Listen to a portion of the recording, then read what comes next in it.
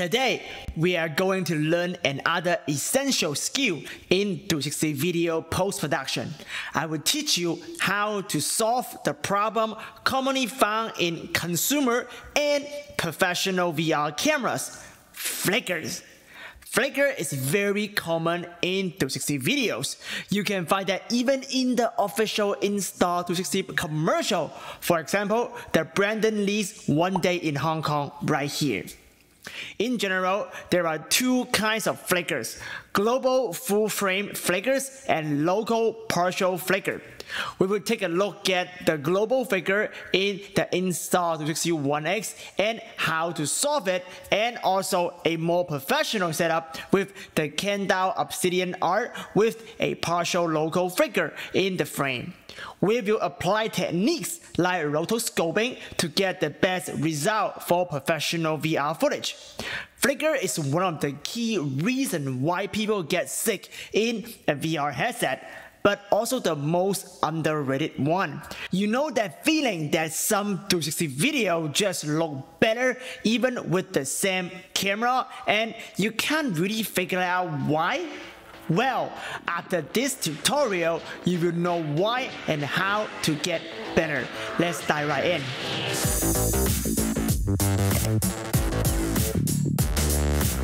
Thank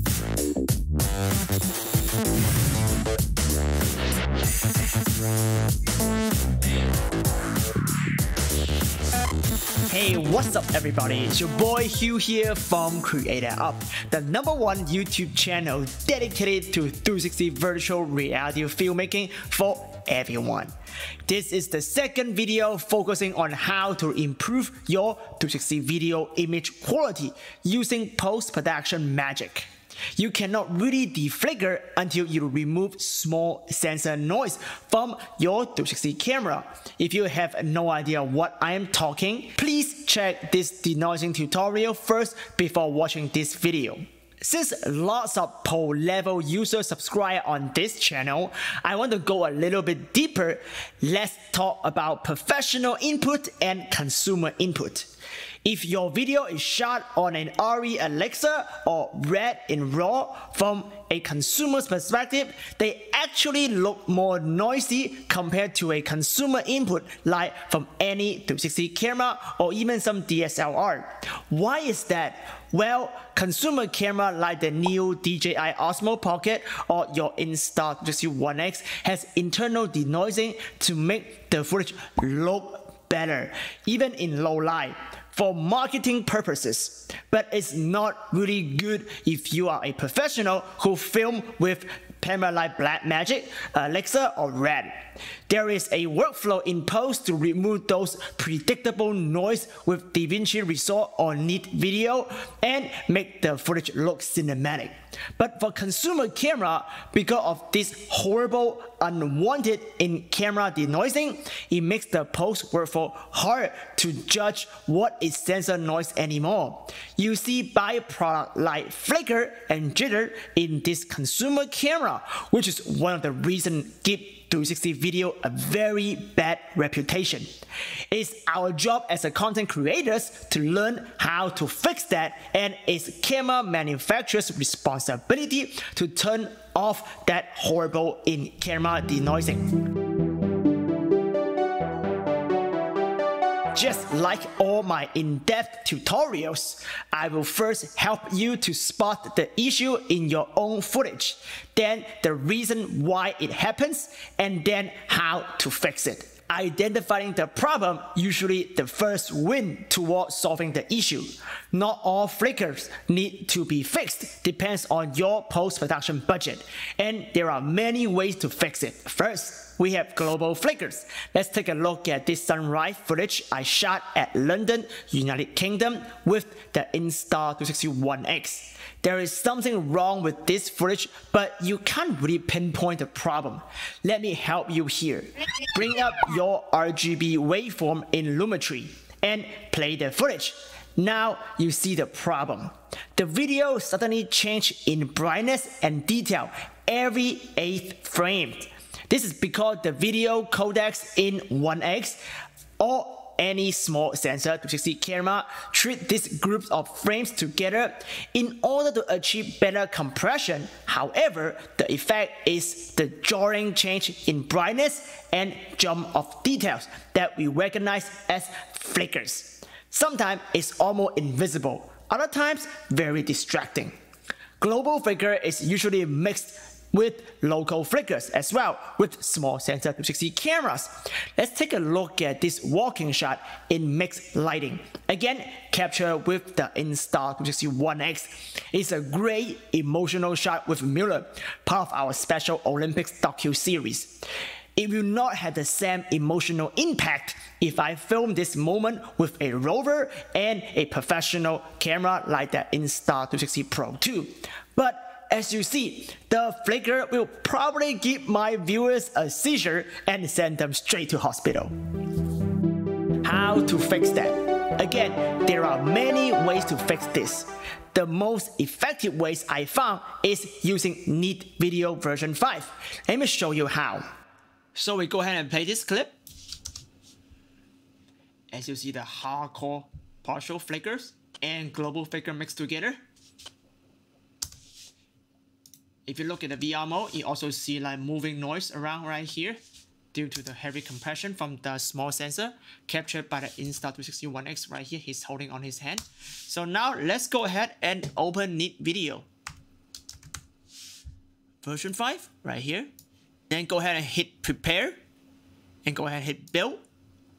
And from here, I want to show you a different way to getting noise profile from Neat Video. In the previous tutorial, I will go ahead and hit auto profiling and that video find out where is a clean area for me and then we go from there. But in here, I'm going to use a different way to do it. So you have a two different way to handle noise with Neat Video. Then this time, I'm going to use generic profile.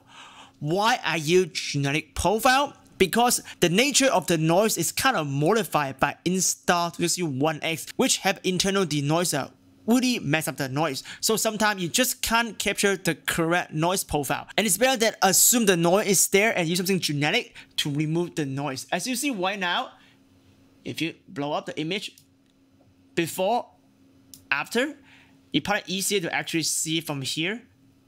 Before, very noisy.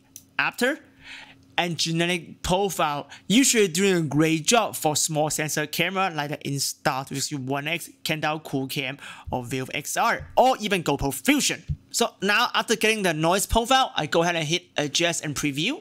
And here is my workflow to handle flicker. So go ahead and hit filter setting check. While here again, let's go ahead and check the noise profile. As you see, there's still pretty aggressive noise. We can try to remove it right here that's not supposed to have anything because it's static object. The next thing, right here, local flicker check. And as you see, that is actually the magic button. Everything that is not blue showing you that there is flicker. If you go ahead and hit play all, Again, this is a 5.7K footage, so it's gonna have tough time to play through, even with graphic card. But as you see, those white area is the flicker generated by the camera, and that's what we try to get rid of. So go ahead and stop the play all. And go ahead right here in local flicker check, go ahead and bump this up until you see the entire footage is go very aggressive because it's very flickerish. So around 30, we see we get rid of all the white area and entire area is covered by blue. If you go ahead and play that now, you see that the flicker is gone.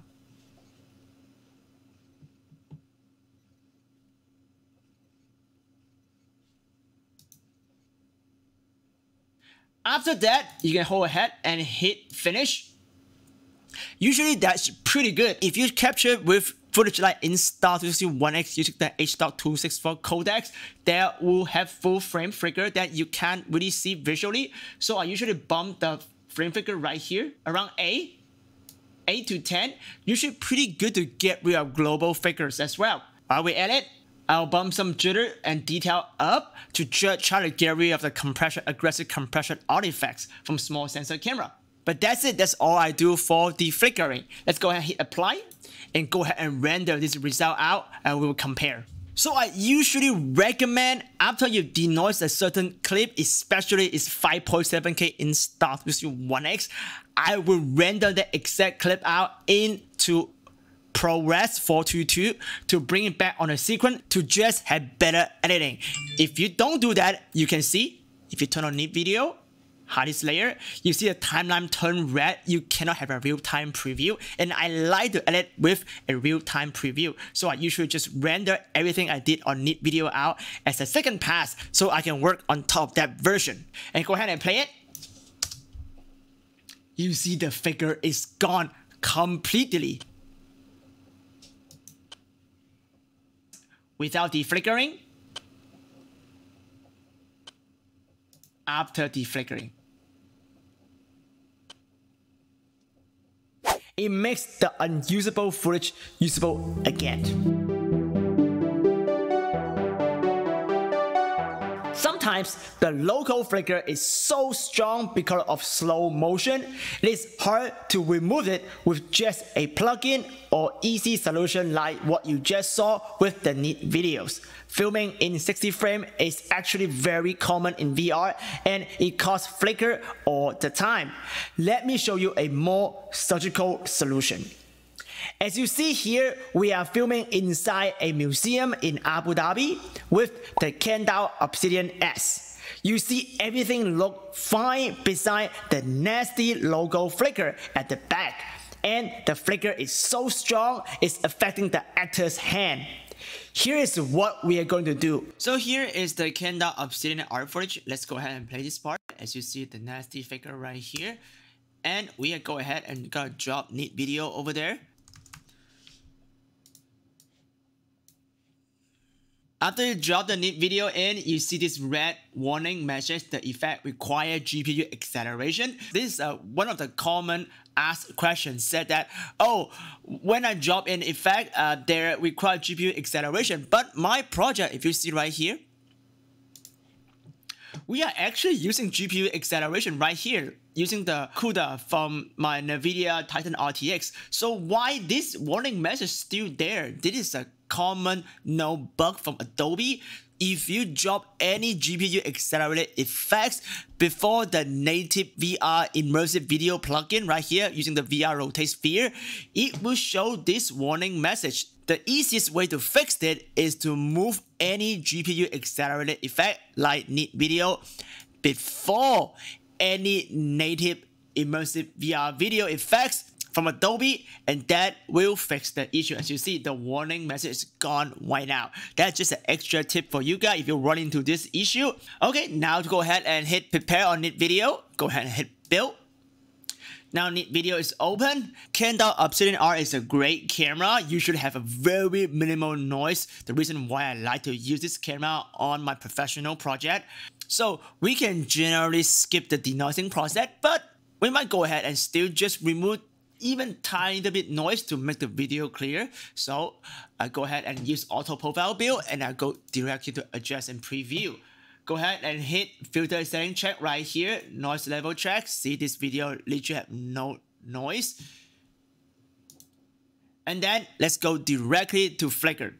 So as you see, this video had decent amount of local flickers right here, mostly causing actually by the LED display. They are all moving, so they are actually not flickers.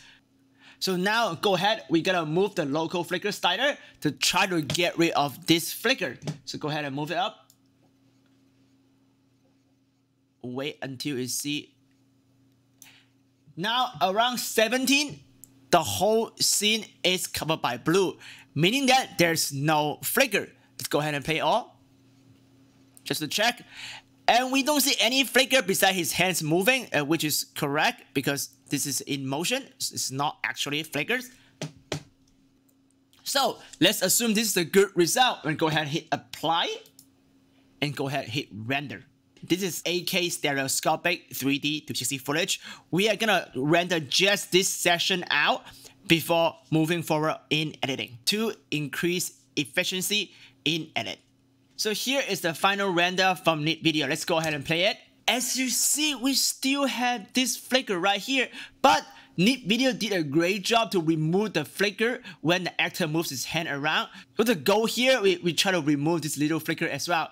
But thanks to Neat Video, we removed the flicker spill on the actor's hand, so now we can use a common rotoscoping or just plain technique to cover this part to make it stop doing this flicker. And that is actually a very common workflow in 360 VR video. So let me show you how. As you see, this is the final result. We'll just show you the final result right here so you have an idea. See now the flicker is gone because I'm using this thing called the wall patch. So go ahead, how to generate this wall patch? Let me show you. Again, this is all bonus tip, technique that you should know by now working with 360 VR footage to achieve professional quality. So go ahead, again, hide this. All we need is one frame from this video. So we decide to find the middle of the clip, go ahead and hit export frame. Go ahead, capture that. Let's save this export frame somewhere that we can find later. So now go ahead and open Photoshop. So in Photoshop, we know this is the figure part. So we're gonna just take this frame as a play. If the camera is moving, you gotta take this frame using rotoscoping technique, but again, this is not a rotoscoping class. So we'll skip that, but you can easily find many tutorials online already teach you how to rotoscope. And here we have a static camera, so we just need one still frame to patch that flickers. So go ahead and use your marquee tool right here. You try to not touch the LED screen right here. This is actually LED screen, so you try to avoid it in all costs. And remember the actor hand is actually go over this area, so also try to avoid this area. Just carefully select around the figure area.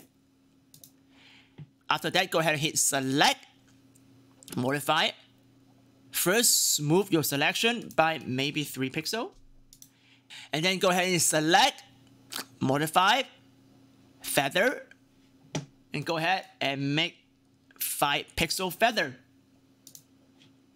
and this is our plane. So go ahead right here, hit the add mask layer and go ahead. That is the section we need. Now go ahead and export this as an PNG. And go ahead and drop the wall patch right here. Now if you take a look, the flicker is gone completely. Thank you for watching. Neat Video is not the only way to reduce flickers. You can also do that manually with After Effects. But Neat Video does save me time and get a way better result than manual workflow. Again, identify the problem is more important than the solution.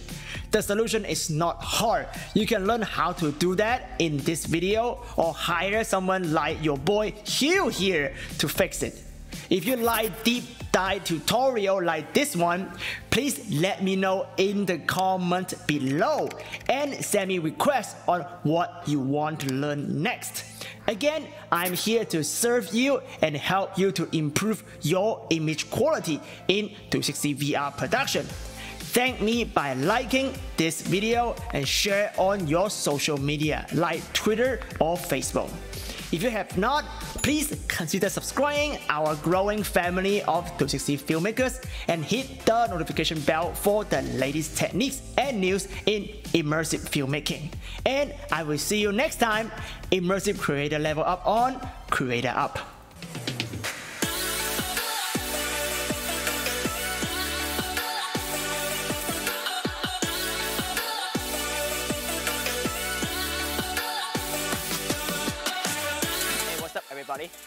Now, I am in the middle of the jungle in Costa Rica.